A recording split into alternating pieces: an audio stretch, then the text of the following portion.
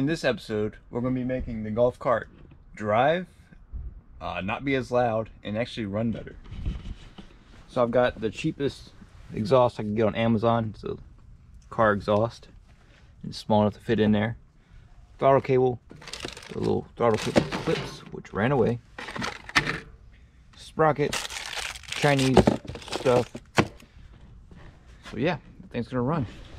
First step is figuring out where to put the exhaust. So this big rusted rusted monstrosity is the stock exhaust. Uh, it did blow out right here. I don't even know how that's possible.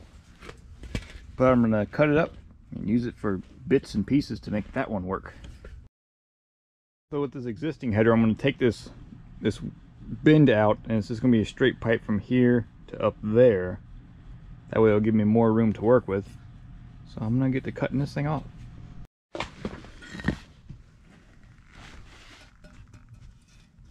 So this monstrosity is the golf cart muffler. I took a washer and welded it to the top of the exhaust and the pipe fit right in there. It's still hot, it's smoking. Uh, I'm not, that's a, a hanger that mounts to the engine directly so this thing won't be bouncing all around and such. And I just, uh, this was the old exhaust pipe from the other motor. I cut and made that work and had to do some weird scab patch thing over here. Just, yeah. It's a whole hot mess. but it's gonna work. It's it's heavy, but then again it is a car exhaust. So hopefully this makes the golf cart nice and quiet. But now, since that's cooling down, um, it's time to work on the making that thing run better stuff. So it turns out I didn't have to take the motor out to put the uh, air boot on. So there's just a little bit of clearance. I snuck it up in there. So now I've got everything bolted up. Just look at that, man. That looks sweet. Got the muffler all hooked up. The crankcase uh, little filter It's just looking good. I even got some throttle uh, return springs on it. Got one here just in case this one fails, so she snaps back good. Gonna see how she sounds with a new muffler on it.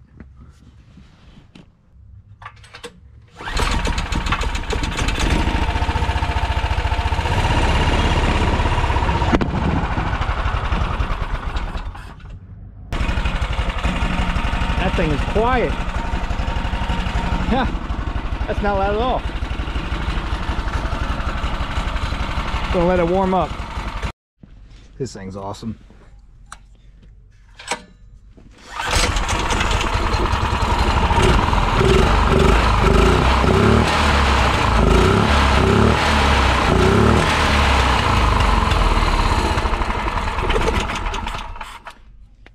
So I need a new gas line because this one is it's brittle and it doesn't seal. So I gotta get some gas lines that fit. So I'll replace all these. It won't stay running and it's leaking gas. But it's cold. What do you think?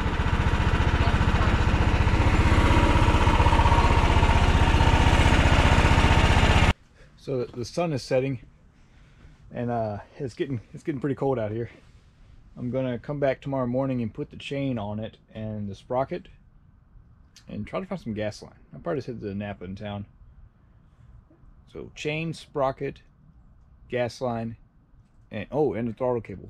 I gotta figure out a way to make it hook to the actual gas pedal. So that's for tomorrow. And then this thing will be drivable. Then I gotta put the battery in it and rig up electric start.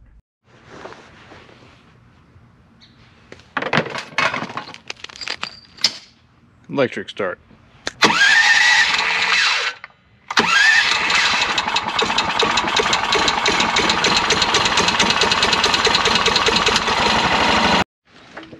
So I've taken the key box on the 420 all apart.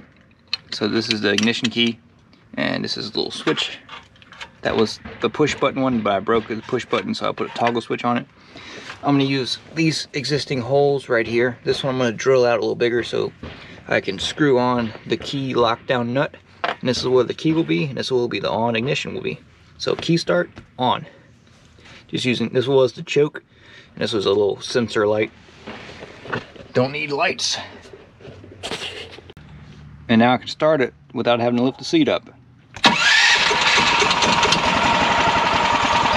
And now it's time for to put the sprocket on it and give this thing some propulsion. Um, I'm waiting on a throttle cable. It should be here today. But once that gets here, this thing should be ready to rip. And then I gotta rewire the lights because they aren't working. I'm gonna run a really short chain from the torque converter to the axle sprocket. And since this is an axle, I should have gearing. Well, we'll have gearing forward, reverse, and neutral. So that's pretty cool. I'll get to it. Uh, just got the chain hooked up. I ended up going with a 40 series chain instead of a 41. You can see the difference here. 40, 41. It's quite a bit thicker. Should hold up to the power. But yeah, she is in there. Really small. We're gonna give it a test while fire and put it in gear and see if she rolls. Gas on, choke on. Fire it.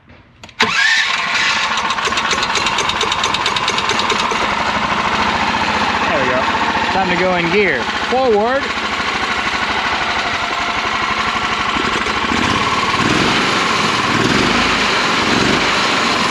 Oh yeah, open diff.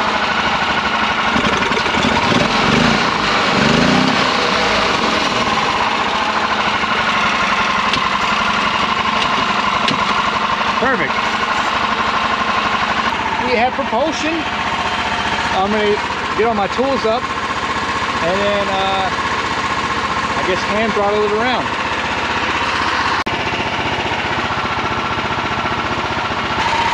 All right. Sitting on the gas tank, forward. Got my brakes right here. Oh, idle away. Let's see. We're moving.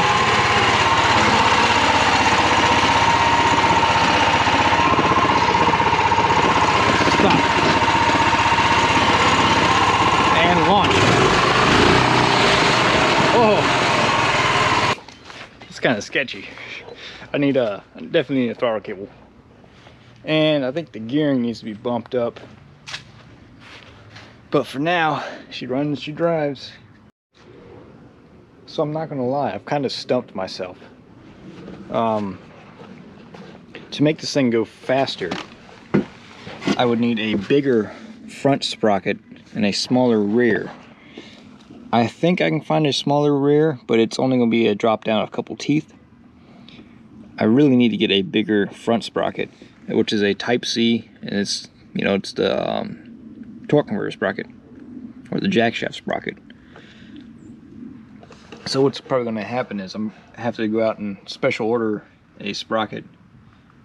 I'll probably just go double the size and I believe that one is a 10, so if I got a 20 tooth on there, it would be pretty good. And then I could always play with the rear sprocket because these are easier to find than these ones. So set this one to a specific size because originally this thing had the belt drive on the jack shaft. But I wouldn't be able to fit the 420 in without doing what I've done.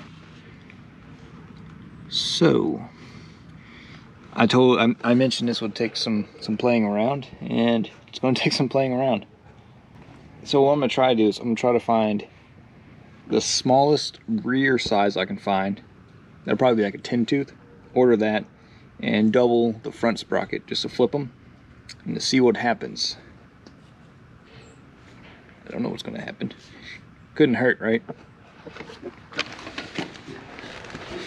But, you know, it's come pretty far. So it's, it's nice and quiet. It's electric start. It moves. Doesn't move very fast, but it moves.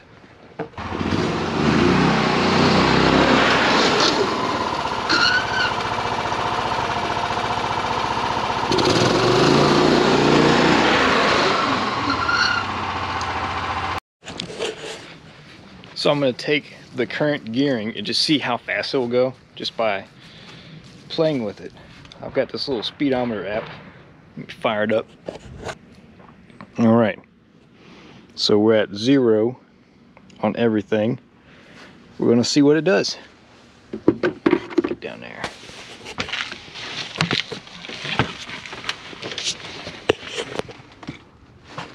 Tell you what, man, electric start is cool.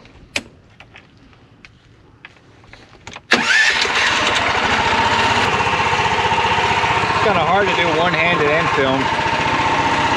Let's see.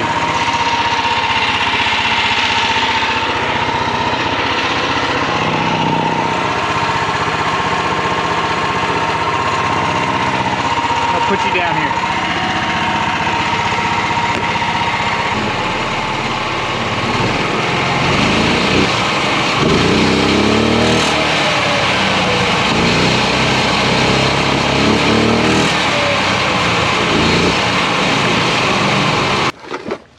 So I just went around, ran around my house and floored it and floated the valves. Uh, it goes 11. 11. I need to go 25. Need to double the speed. Ugh.